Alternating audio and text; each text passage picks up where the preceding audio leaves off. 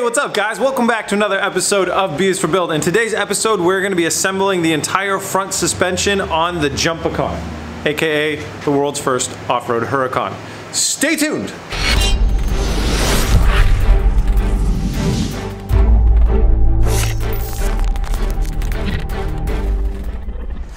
Before we get down to work, I want to take a second out to thank our sponsor. Today's episode is sponsored by our biggest sponsor and the biggest supporter of our channel, Raid Shadow Legends. If you don't already know by now, Raid Shadow Legends is a great game. It's mobile and on your PC, and it's free. So if I sold you right there, just go ahead and click that link in the description. If not, hang on, there's more. So as you start playing the game, you're gonna find out that there are 10 different unique dungeons that are really challenging, and inside each one of them is a really tough boss, and each one takes a different strategy to beat it.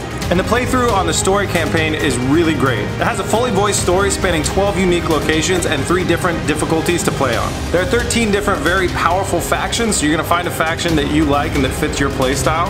And there are 460 unique champions. And with over 200,000 active clans, there's plenty of people to group up with and play through the game. And there are over 25 million players worldwide, so there's no shortage of players to fight against. And when you combine all those things, it basically adds up to there are infinitely different ways to play the game. Each person's story and each person's playthrough of the game is going to be unique to their playstyle. I personally really love the game because of the PvP aspect. I love jumping in the arena and being able to face other players head on and see how well I'm doing. And I also love the graphics. It has very, very rich, very well detailed graphics. You can see on some of these champions how good the graphics look. And I just think the design aspect and style of them is really, really cool. And last month, Raid released their biggest ever update. And the main thing that they added is the new Doom Tower. There are 120 different floors in the tower and a bunch of secret challenge rooms and 12 different bosses to take on. So if you guys want to get a head start in Raid, all you gotta do is click the link in the description below. And if you are a new player, you'll get your free Void Champion Bulwark 50 gems, an XP booster, some energy refills, and even an ancient shard as soon as you get into the game. All that treasure is going to be waiting for you right here where I'm pointing at on the screen. And remember, the rewards are only available for the next 30 days and only to new players. So it's really very easy. Just click the link in the description, grab the game, start playing. You're really going to enjoy it.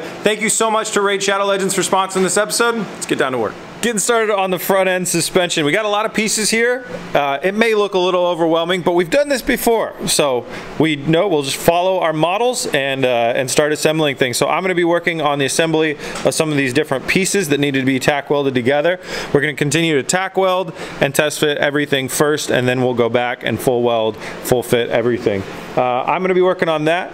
Kyle's going to be working on the reinforcement plating, figuring out where it all goes and how it maps onto here to reinforce all the rails. And Oscar is going to be working on the tubing that runs across here to hold our shock. Basically is our shock tower tubing. So let's get started.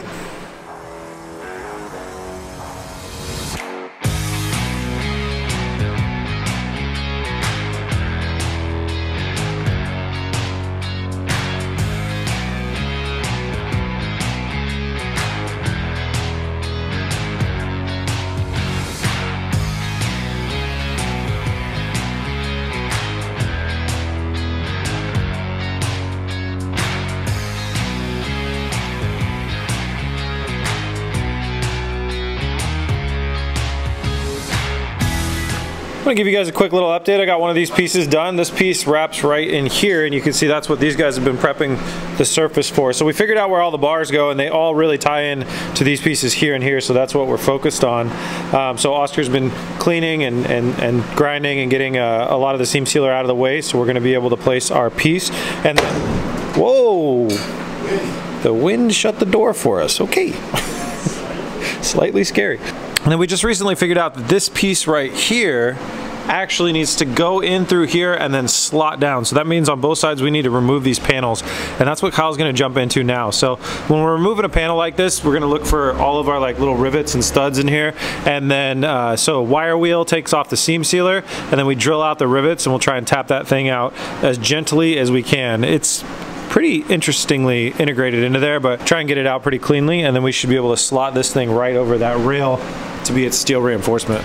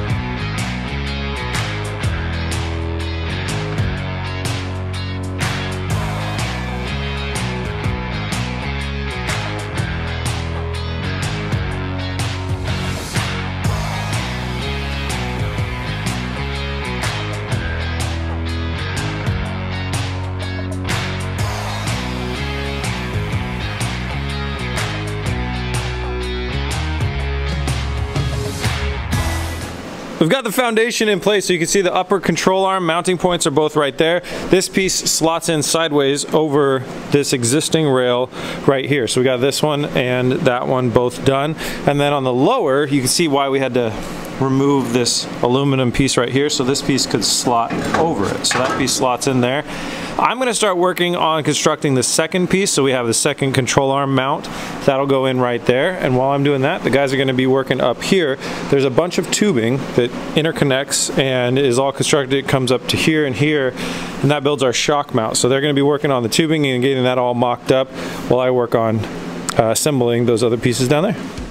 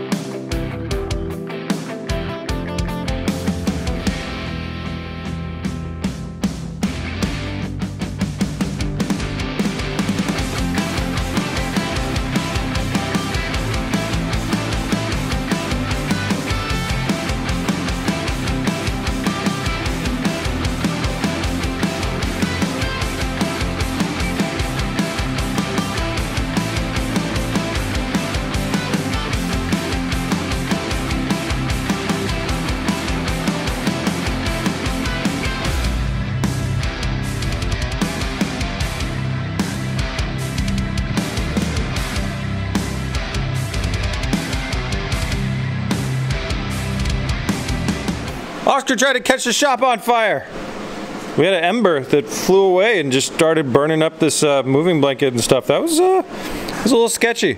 So we've got a bunch of control arms done. These are the lower control arms. They're wrapped up almost. Upper control arms are built and already in on both sides. So there is, on, on these guys, this is the other one of the lower control arms, there is a uh, little uniball that goes into each one of these. So we're gonna go ahead and tack the uniballs in and bolts. We got we went into the hardware store and got some bolts and we're gonna go ahead and bolt this piece up um, to the frame because it bolts straight to the frame without a spacer. And that has its input there and the input there and then we'll make sure our tacks and our positioning of our uniballs are good here because there's no adjustability on the width for this and if they all fit up snugly and stuff we'll do a little bit of weld out and get those things bolted in there. Close one Oscar. I tried. Luckily we only have one, two, three, four fire extinguishers behind you just in case.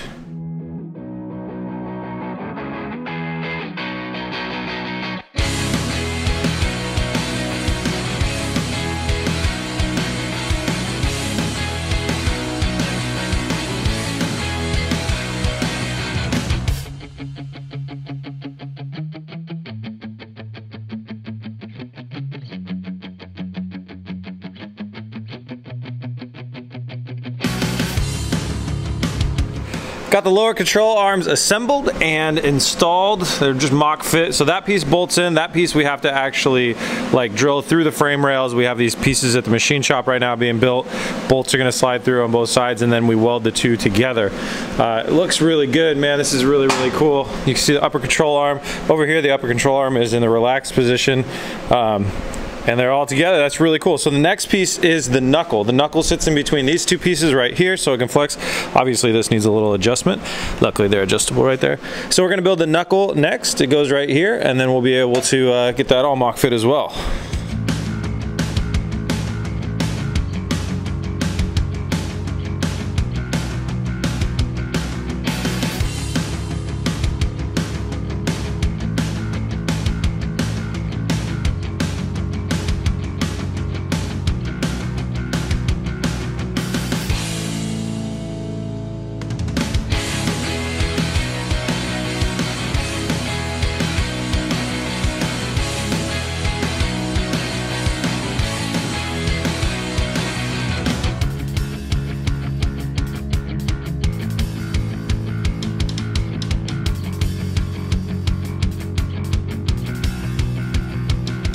Driver side and passenger side knuckles have been assembled. So now we're gonna go ahead and get them onto the control arms.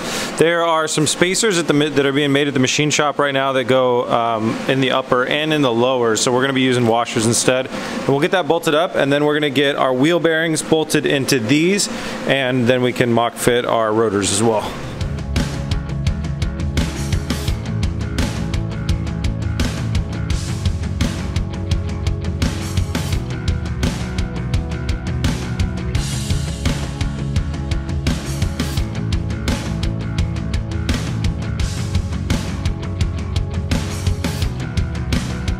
Got the knuckle on and threw on the rotor too. We got a little bit of just homemade spacers in there. Again, we're waiting on parts from the machine shop.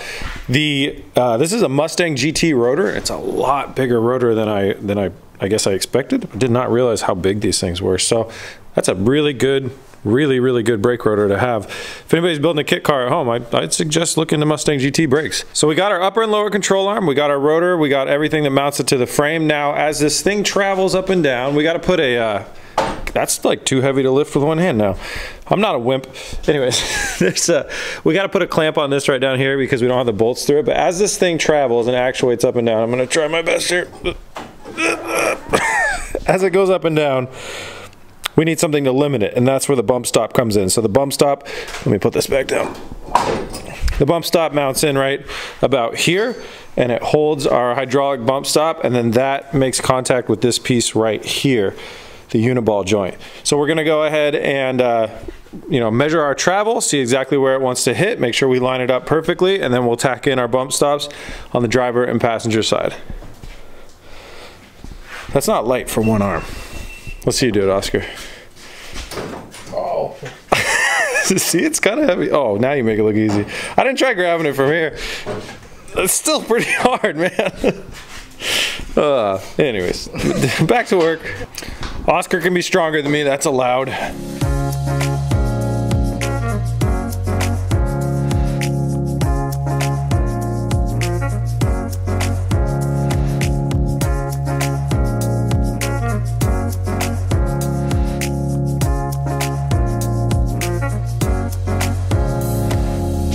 Got the bump stops on. So this is the bump stop mount that goes into here. Now uh, across here, I think I mentioned this earlier, but we are gonna build a dash bar that comes out and then connects up with the rest of the roll cage.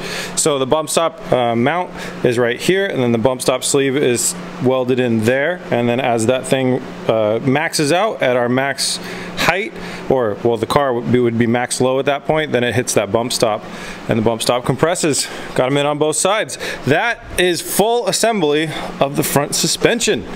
Nice. There's obviously a lot of really great engineering work that went into the design of all of these control arms and the knuckles and everything that we built to make it all work together and that is all the work of Sam over at SEM Dirt. So I'm to put a link in the description.